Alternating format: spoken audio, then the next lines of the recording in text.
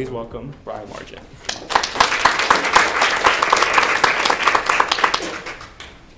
So I'll tell you a little bit about myself, uh, and I'll try to keep it brief because it's boring.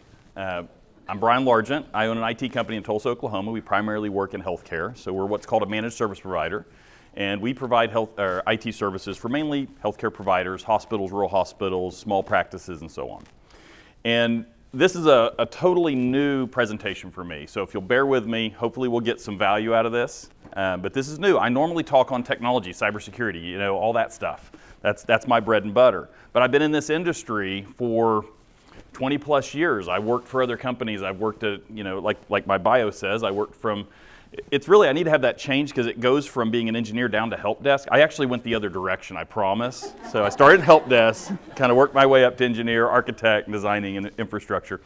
But I've been everywhere. I've, I've worked for every company in town, Fortune 500 companies. I've worked for small companies. I've managed IT teams.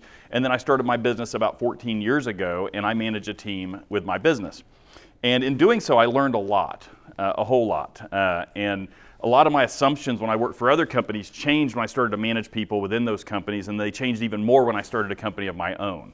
And so we're going to go through some of those things, some of my lessons learned, some things that I found valuable. And, and again, I hope you guys can get some value out of this. So, and I've been doing this a while. I, I was looking today, I was like, uh, this year I'm going to be 600 months old. So that, that means I'll be turning 50 this year. So, so I'm, I'm, I'm still, uh, still going and uh, been in IT for a while. So, all right. So the first thing I want to talk about, has anyone read this book? Does that look familiar? Um, if you manage a staff, this is a must read book. Uh, Daniel Pink, The Surprising Truth About What Motivates Us. And, and what's so important about this book is you learn about the different types of motivation. There's motivation 1.0, which is the carrot or the stick. You guys are familiar with the carrot or the stick? You know, either you're going to get rewarded with a bonus or a salary, or you're going to get hit with the stick if you don't perform, right? And there's motivation 2.0, and that is the joy of the task. So in this book, Daniel Pink uh, he, he, talks about an experiment where these scientists took a whole bunch of monkeys and they put them in, a, in an area and they introduced this latch. It's much more complex than this, but they introduced this latch into the monkeys and the goal was to figure out how do incentives work with monkeys? How do they, you know, and how can they relate that to humans? So they put this latch in with the monkeys, but before they could even incentivize the monkeys, they fought each other on who could do it first. And so these monkeys are fighting to do this, no incentive whatsoever, fighting to do this, who gets to do it, and they're just constantly lining up and fighting to, to work this latch system, and it's a multi step system. When they figure it out, they go through it over and over. Well, the scientists are just stumped. They're like, this is, we haven't done anything to get them to want to do this. And so, so they, they decide, let's see what happens when we insert motivation. We give them something to make them want to do it. So every time they do it, they give them a little treat. Well, after a while, they took the treat away. Well, what do you think happened? The monkeys never did the thing that they loved doing once the treat was gone. You know, you introduce the treat, they only do it and then hold out their hand to get the treat, right? So, what that is, that defines motivation 2.0. It's the joy of the task, it's the joy of doing well in what you do. And today's presentation, our target audience, is intrinsically motivated high performers looking for extrinsic compensation and or acknowledgement. You know, you're working hard, you're really good at your job, and maybe people don't see it. Okay? As an IT guy working in corporate America all the way to my own company, I've learned that a lot of times in IT, people don't know what we do. They, they don't understand what we do. And because they don't know and they don't understand, they have you do things like go move desks when a new office is being built. Right? How many here, uh, who here is a HIPAA compliance officer? Did, uh, did they kind of just walk up to you and go, we, we have to do this now, now you, you know computers, now you're the HIPAA compliance officer, right? Right? That's, that's how that went. And the liability that goes with that's pretty tremendous, especially if you're in a hospital, right? So, so people don't always understand what we do. So what I'm going to be trying to do today is help you guys understand how to use some of the tools that we use with our clients and with others to show our value because we're doing it for money, not just as an employee, but we're doing it where we have to show value because they'll fire us if we can't show value, right? So we're going to go through a few of those things.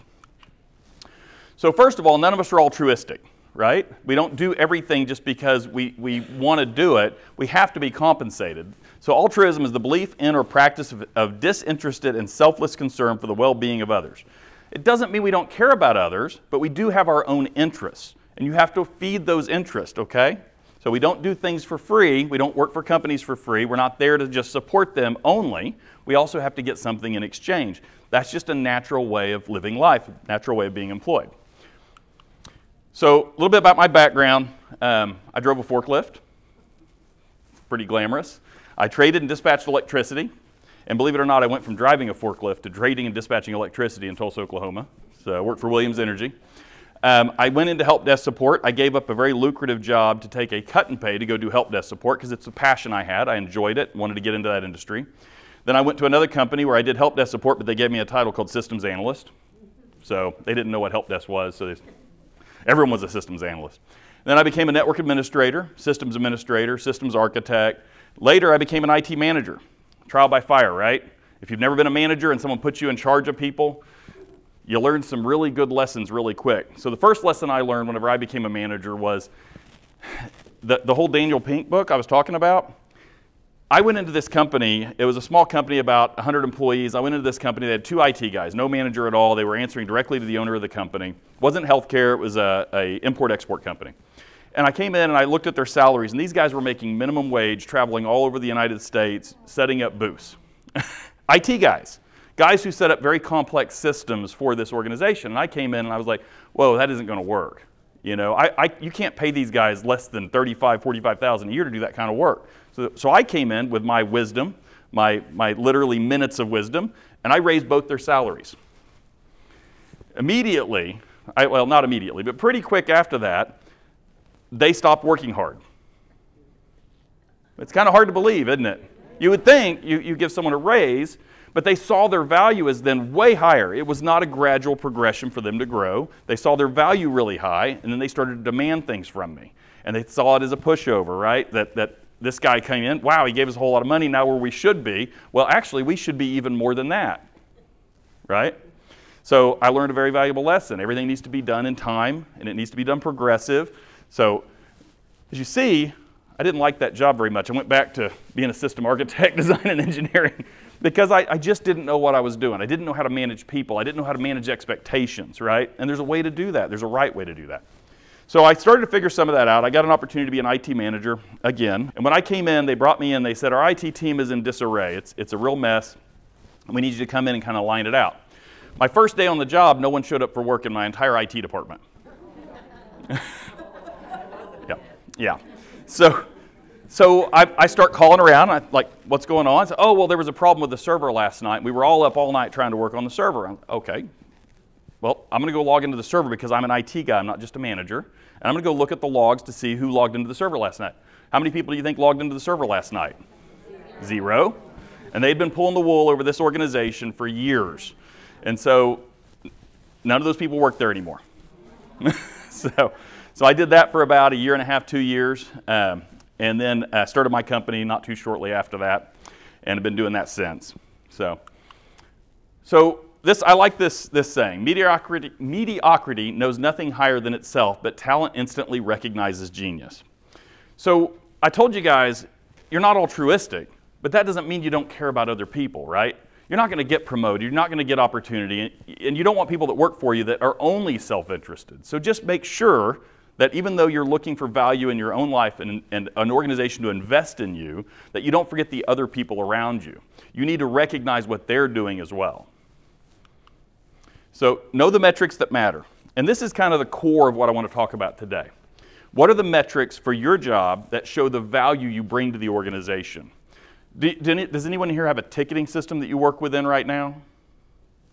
So I see one hand. Um, how do you guys show your value? I'm guessing that you get performance reviews about every six months or a year or so. Is that, does that sound right? Okay. All right. So we're going to talk about some of these things. So catalog your wins. Does anyone journal what they're doing and how they're succeeding and providing value for their organization?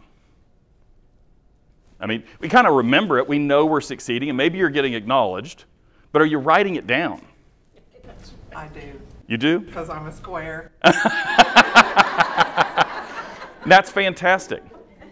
Oh, you have a question? I don't, no, I was going to say, I don't write it down, but because I'm an appeals coordinator, I see the ones that I overturn. Yep. On a spreadsheet every week, so oh, wow. it's written down somewhere. I don't do it. And, but as an individual, and even as your employees, you owe it to them to encourage them to write down their wins. Because you're not going to remember them. I don't remember the wins for all my guys, right? So you need to get those wins written down, track them, okay?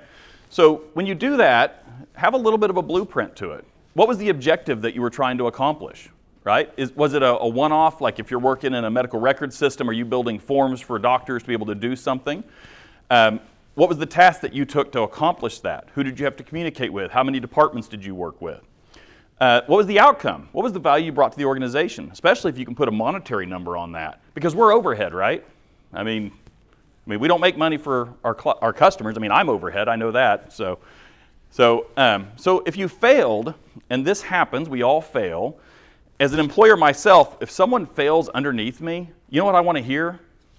What did you learn? How will you avoid future failures? If I hear that out of someone instead of a, oh, woe is me, you know, or it's not my fault, it's someone else's fault, and, you know, that, that doesn't resonate with me. I, show me how you're going to fix it next time and not let it happen. If you come at me with that, I will tolerate a million failures because as long as you're learning, it's not the same failure every time, of course, but as long as you're learning, I, I, I appreciate it when someone fails, but they learn from it. And if success, hooray, what did you learn from that?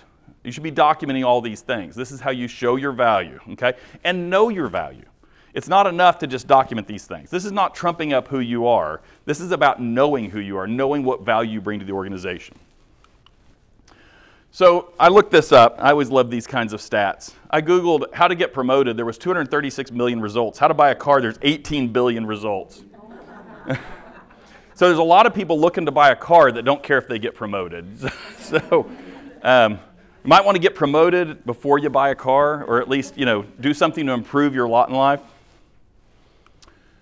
So this is one of my favorites. As, a, as an employer myself, I have a rule with my, my guys if they come to me with a problem, if I can find the answer in the first page of Google results, they're in trouble. because that's my job. I mean, that's everyone's job in the company is Google anymore, right? We don't go to the encyclopedias to look things up. We use Google. Everyone uses Google. Every job uses Google. If someone comes to you and asks you a question and they can't come up with at least some form of answer before they ask you, it's not going to do you any good. They're wasting your time. And what we really want to do, uh, well, I'll get back into that. So what we really want to do is we want to provide, or we want our employees to save us time, make our lives easier. Okay, that's that's their job. We've got plenty of work on our plate as managers. We need our employees to make our lives easier. We want to do that for our managers as well. I think I got my slides a little out of order here. So overhead you are, act like it, you must not. Okay? If you're overhead and you don't feel like you bring value to the organization, the organization doesn't think you bring value to them either. You know, a lot of organizations look at IT, they're overhead, and they try to squeeze your budget. They try to make you do a bunch of things, like I said, moving desks around. I don't know how many companies I worked for where I had to move desks around, uh, move chairs. I had, I worked for a company, big energy company. We had 300 racks. They had us go unbox them all day long for eight hours with a bunch of systems engineers and architects unboxing racks all day. There's no value in that for the organization, but they didn't know what we do. You know, the only thing they know is if things aren't burning down, they're doing their jobs. If things are burning down, clearly we didn't do our job right, right? So, so how to not act like your overhead is to show, figure out how you bring value to the organization. Again, show your value to the people that you work with. And this isn't in your face showing your value. This is actually what are you doing? You're bringing value every day. When you go into those into the office, into the hospital, wherever you're at, you are bringing value. But you got to know what you're doing and what you're bringing and articulate it. Learn new things in your own time. This is a really tough one for me as an employer. When I have, a, I, have my staff and I'll, I'll go to them and I say, we need someone to learn this phone system. We're going to be deploying a new phone system. We've chosen this product. I need, I need my team to learn this system. If my team says to me, are you going to pay me to do that? Well, are, are you going to stay here forever at that salary if I do? Because you're going to get to take that knowledge somewhere else. This is an investment in your future, right? It doesn't mean you can't learn on the job. But what I'm looking for is for my team to actually go, I see value for me. I'm learning something. I'm getting value out of this. And they see that value and they run with it and they own it. So when I say learn things, new things on your own time, that's a very bold statement. I don't mean all the time. But I mean a lot of the time, you need to be investing in your growth and your maturity within the organization. And if you're doing that and the organization does not acknowledge that, you got a problem.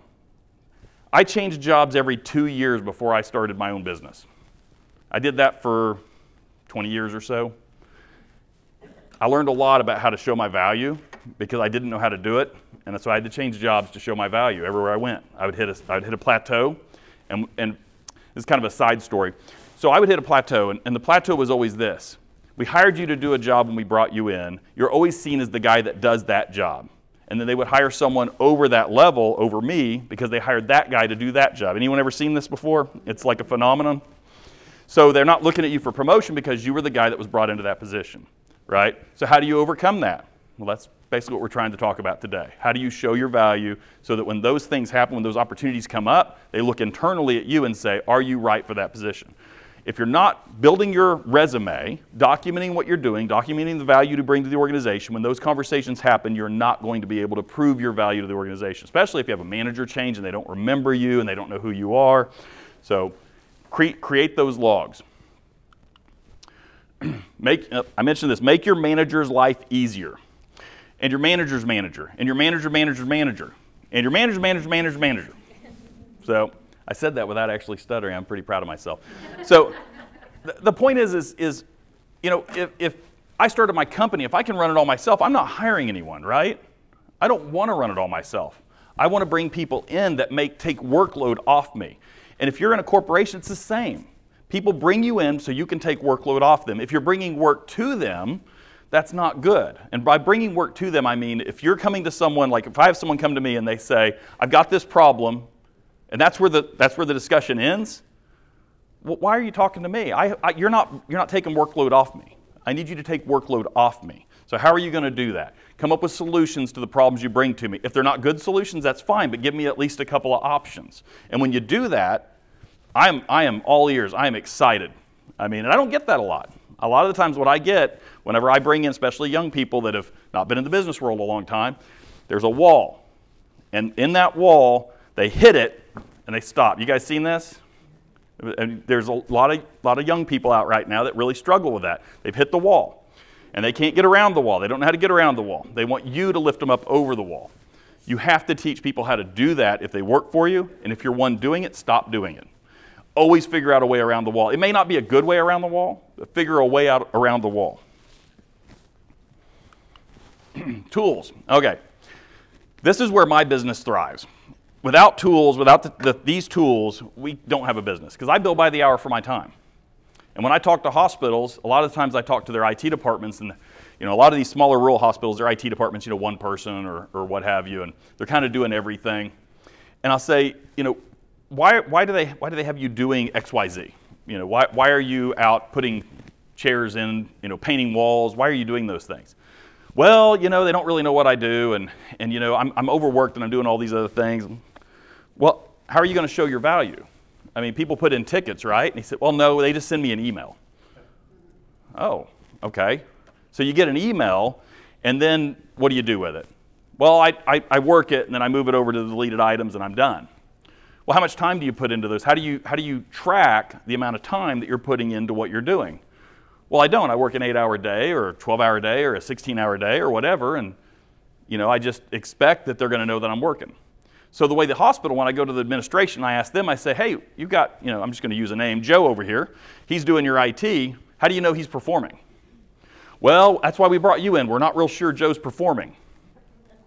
Well, you got Joe, you know, putting up, lam- putting laminate flooring in, so um, why are you doing that? Well, we don't know what he does. So that, that's a way to keep him busy.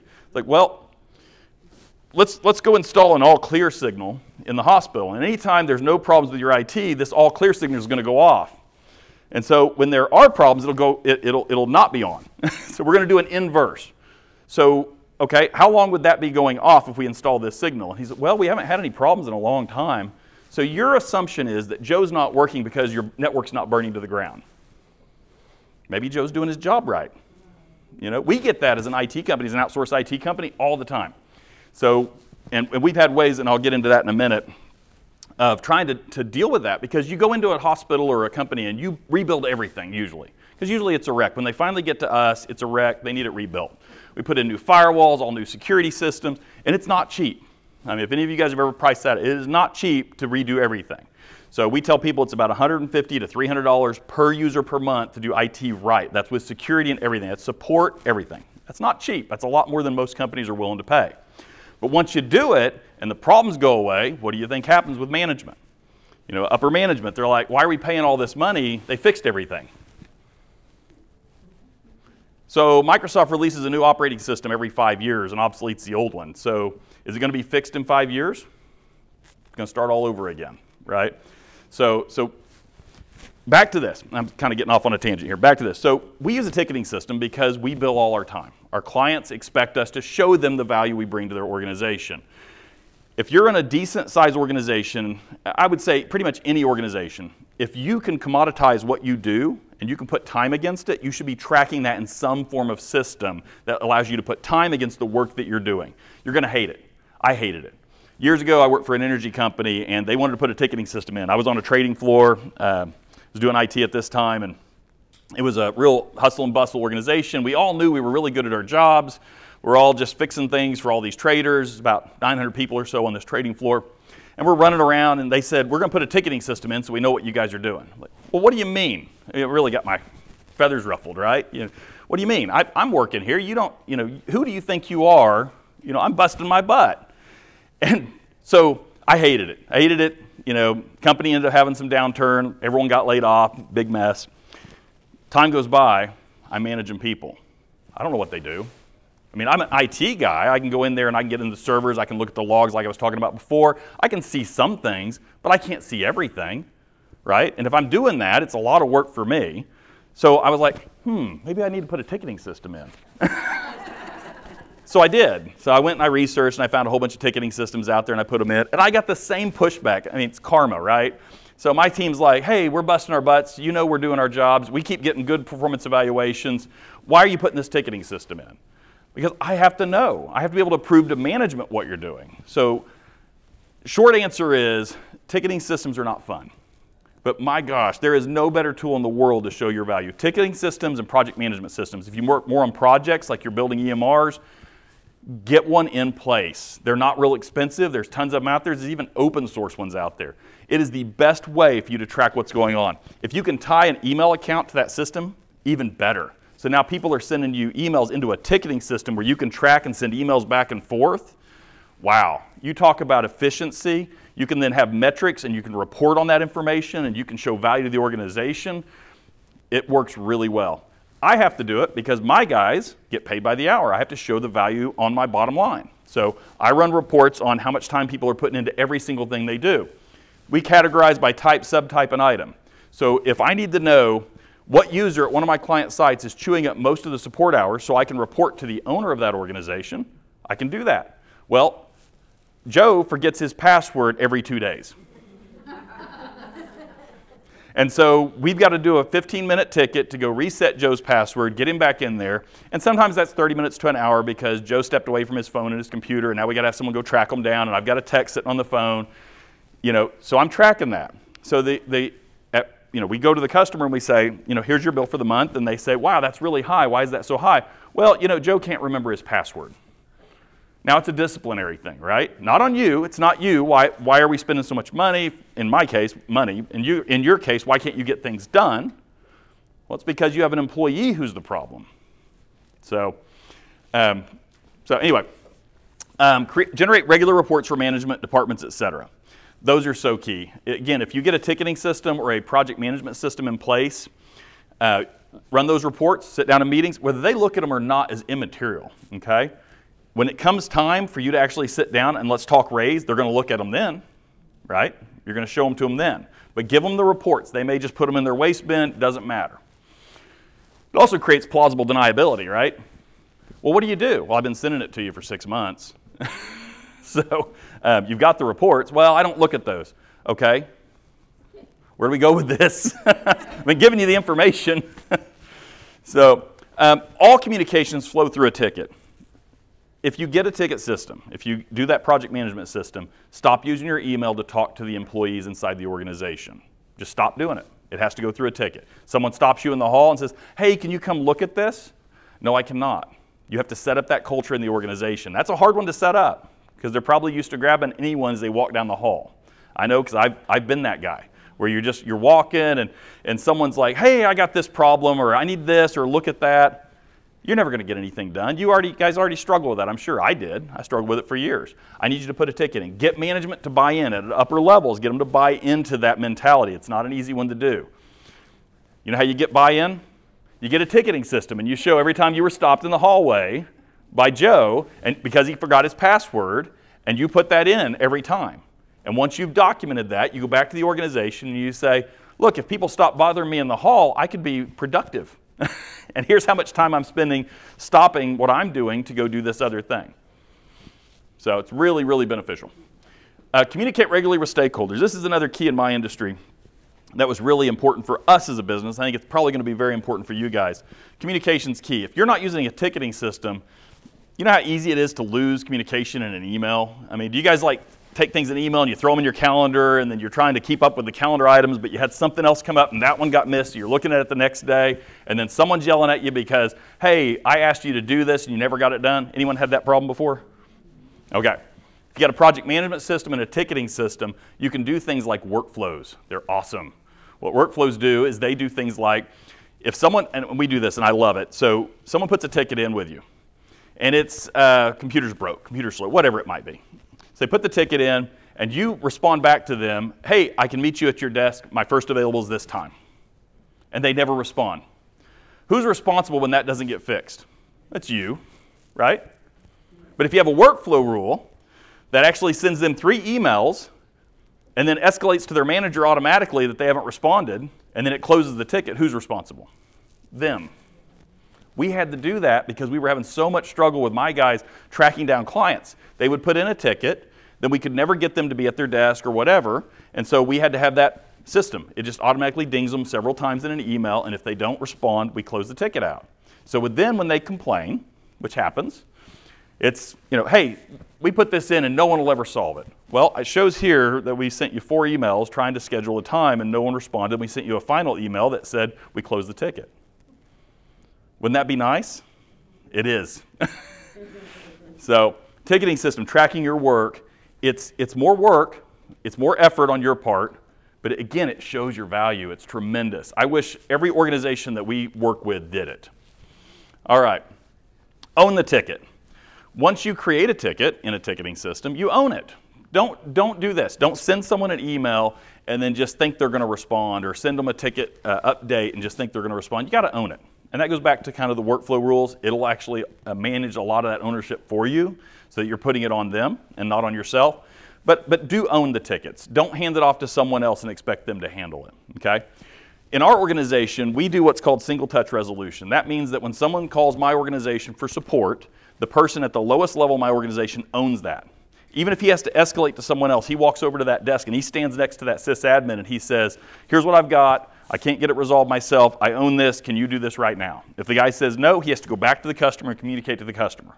Because the person who owns the ticket is going to be the one that's going to be able to solve the problem. But if you escalate and you give it to other people in my organization, the first thing they look at is like, yeah, this reminds me of calling India support for Microsoft. You know, you know, you got 12 people and now you got a committee and they're all trying to decide how to fix whatever the problem is and they can't decide, so they put you on hold and then they hang up on you, right? So you, you don't want to give your, for me, it's a customer, but your end user is your customer. That's who you're serving. You don't want to give them that impression that you can't deliver and own the issue. All right, the ball never leaves your court until the ticket is closed. You have to own it.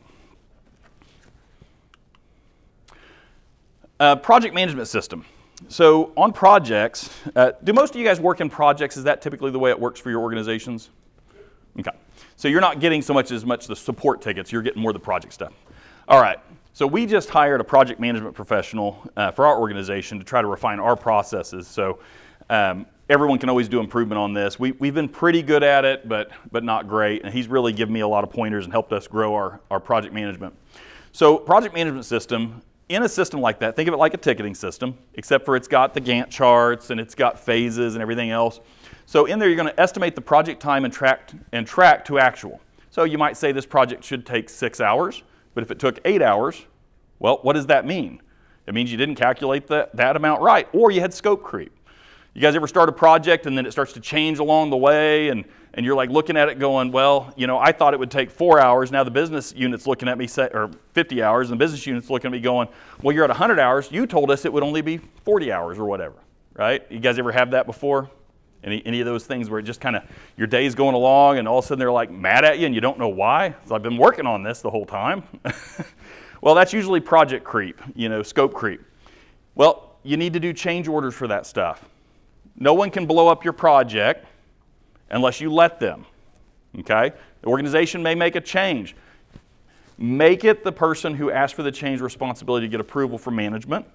Get that in writing, and then do a change order inside your project management system and put sign off on it. Okay, if you do that, again, it doesn't fall on you. You can show your value because people don't know what you do.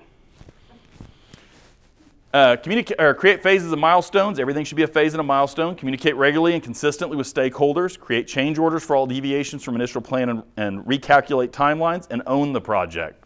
Don't hand the project off to anyone else. You own it. Okay? You can do, like on our system, you can do workflow rules, you can do all kinds of things that can put some of the responsibility on others, but you do need to own it. And the ball never leaves your court until the project is closed. You know what's the worst thing that, as an owner of a business, you want to hear, or even a manager, is, well, I gave that to Susie, or I gave that to Bob, and I don't know where Bob's at. I don't know what he's doing. Well, but wasn't that your project? Yes, but this is Bob's part, and I don't know what Bob's doing, and I can't move ahead until Bob does his part. I, I just need you to make it work. Make my life easy, right? Like, own it. Someone own it, okay? All right, so this is a interesting thing. I've never seen an organization that uses these. Uh, I'm throwing it out there. I don't know if it's something you guys would want to do or not, but I think it's fantastic. We use satisfaction surveys on all of our tickets. Every ticket that gets closed from anyone that support that sends us a ticket in or a project gets a satisfaction survey. How do we do? And oh my gosh, the customer satisfaction went through the roof for us as soon as we did this. And, and I get negatives. Um, in fact, I got a negative a while back. Well, actually, when we first we first put this system in, I got a negative review, and it was scathing. It was awful. It's like I keep sending in emails, and no one's responding, and I'm not getting anything back. And so I went looked in the system, and I'm I don't see them. They're not in there. Like, that's weird. And so I looked in our spam filter. He was forwarding us emails that were spam, asking if they were spam, and our system was blocking them, so they weren't going into our ticketing system. so I, I, sent him a $50 Amazon gift card and said, sorry, we're going to turn that off for you guys, so you'll, we'll be able to get your spam emails and classify them for you. So, um, but, but we really like satisfaction surveys. They're really inexpensive. So if you get a ticketing system, and this is predicated on getting a ticketing system, is you put an append, you append on the end of a closed ticket that you have resolved the issue, and then it has in there where they can do a smiley face, frowny face, or whatever, right? Well, that's how you're going to find out how people view the work that you're doing. And then what's amazing about that is then when you go in for your performance evaluation or you're evaluating your employees, you go look at those. Well, nobody really likes Bob. Why don't people like Bob? Well, right here it says Bob's a jerk. and there's like 500 of these Bob's a jerk well, maybe I need to figure out what's wrong with Bob before the entire organization tries to burn my department down, right? So they're not expensive to do. Uh, they're, they're called CSAT, Customer Satisfaction Surveys, and there's a bunch of companies that do them, and they're fantastic. And then this down here at the bottom, um, larger organizations can benefit from public facing, facing dashboards that dis- display active projects, tickets, tickets, and performance stats. This is what we use. We use a product called BrightGauge. There's a bunch of these out there.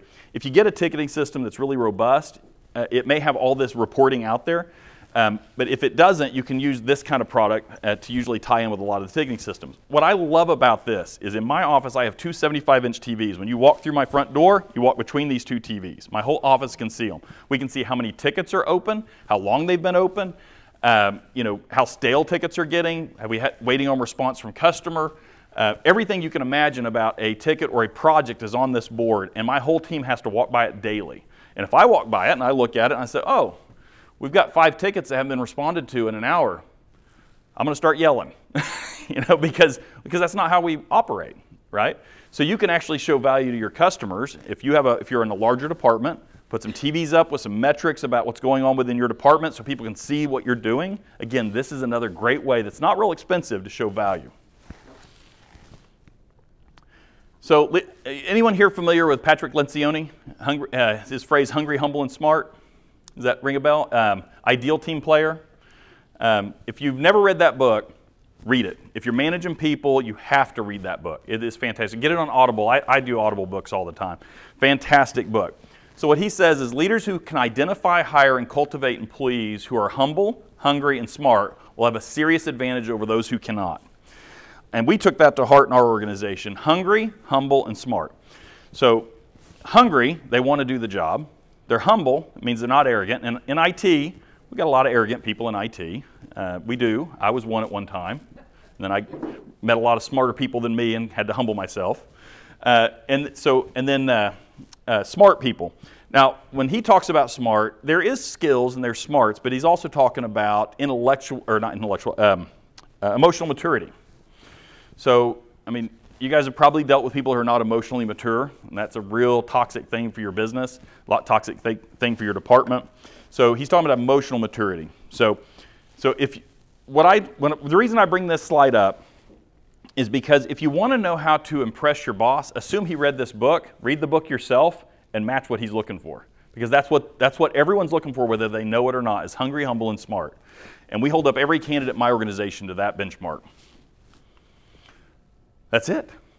That's all I've got. Um, I, do, I do want to take some questions, but before we do, I want to give away a prize. Who can tell me what movie made this stapler famous? Office Space. I didn't see. Who was it? Right there? Okay. All right, so we got Office Space the movie on DVD because people still use DVDs. Yeah, and a stapler. So now you'll have your own red Swingline stapler. You're welcome. so, so, any questions for me? I have one. Do you have a project management system that you suggest? We, we have one we use, um, and, and we sell it, so I don't, I don't want to be salesy. Um, but uh, if I was to tell you what to use, the new PMP that just came in, he actually took everything out of our system and put it in Microsoft Project. So if you're on Office 365, it's not a real expensive subscription. I would, I would probably start with Start that. there. Okay, thank you. Do you have a question? Are you all local? We're in Tulsa. Yeah. So, so but we do serve all of uh, Oklahoma. So we've got customers as far as Shattuck, Oklahoma, and we just got one last year in Calgary, Canada. So if anyone's in Calgary, we can serve. You ever heard net, net fabric? You net fabric? Net fabric rings a bell, but That's all it does. No, I have a question just about more of just managing, you know, like, um, you're talking about ticketing and things like that. Do you find that, um, even if nothing is done with it, that things that are measured tend to improve? yes, it, well, there's a saying, right? What gets what gets measured gets managed. Absolutely. I mean, that is that's that's that saying should be like in your vocabulary in IT. What gets measured gets managed. If you're not measuring it, you cannot manage it. So. Uh, Kind of a question for the group, but as you were talking through the ticketing system, same thing, only we're on the other end and we're having to enter the tickets to get, you know, IT and to respond and really having a much better understanding of how important it is for them and being able to communicate that with my team to help us connect with that department. But as you were talking, it made me think, at least for me, we get lost in emails for chart corrections, merges, deceasing patients. I would love to have a ticketing system because our EHR doesn't capture all of that, that funnels it to a work queue. So I'm sitting here thinking, okay, can I tap into our IT's ticketing You should be able system to. and be able to Yeah. branch off of that and try to get where we can measure because the emails are driving us insane. So, Yep. Similar Anyone done that? I actually, um, I managed the forms in the, in the, and I was having the same issue. People were emailing me and I couldn't like keep up with where I, where it was and so I actually tapped, tapped into ours and our IT created me one Yep. and I actually use it with the business office to release information too. You, you can even do it for your maintenance department at a hospital. I mean, everyone should be doing that. For things like that, um, housekeeping, you know, ticketing systems, things like that, but I've never really thought of it from our professional perspective. But as you were talking, I was like, man, I would love to get away from our email groups and how to divide the work out amongst the team So- not even trying to, they're trying to help me figure out how to push the forms, the forms committee so it's electronic and we don't have to use. One of, one of the other things we like to push people to do, which I've never had anyone take me up on it, is like start billing departments. You know, if, if you have a department that's really needy, like maybe a surgery department with a lot of doctors, and they're demanding that the carts are, you know, in the right corner of the room instead of the left corner of the room every day, and they put a ticket in or whatever, you know, if you do that, you can then show that, hey, our, you know, in my company, we call it fully burdened cost. My fully burdened cost is $75 an hour, and because he wants that cart moved from the left side of the room to the right side of the room, it's costing you guys $3,000 a month in labor to do that. Do you want to continue to foot that bill? So even if you don't actually bill the department, you can create those reports because you can usually most ticketing systems you can break it down in project system break it down by department and you can allocate those costs. And it, again, it gives you the budget you need to grow your organization. Even for us, just educating the other departments of where it's occurring and knowing where to focus that education effort would be, yeah. Absolutely. use it for, um,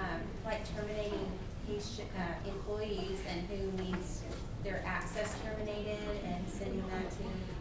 We have a lot of that, but I've just not seen it in the HIM space as much for some of the things we do. so. And we, we incorporated a form system with our ticketing system for specific things like if you got a new uh, employee getting hired, well, you got to have an email address, you got to have a phone with an extension. And so we use a software called Cognito Forms. If you guys not heard of that, there's another one called, uh, uh, Oh, I'm going to forget the name of it. It's really, really popular one. But it's just an online form system, and most, a lot of these are HIPAA compliant, and they're not real expensive. So you can go and create like 50 forms really quickly, and they'll force people to walk through before they can put a ticket in. So then they can't put in tickets like something broke. It's like, oh, okay, well, what's your name? You know, what's your email address?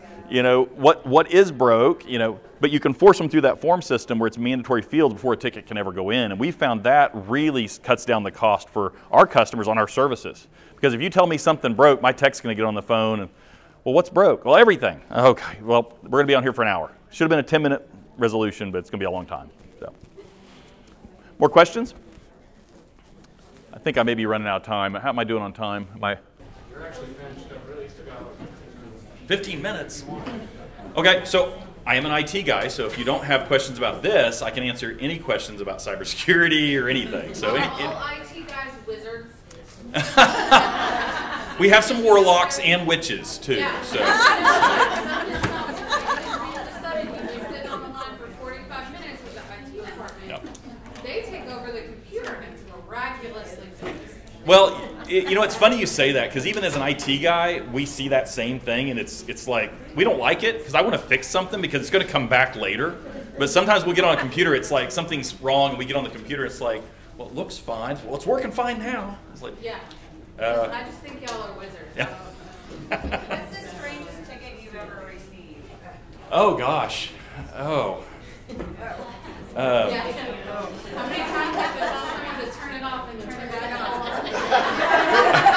I? I, got, I don't have a.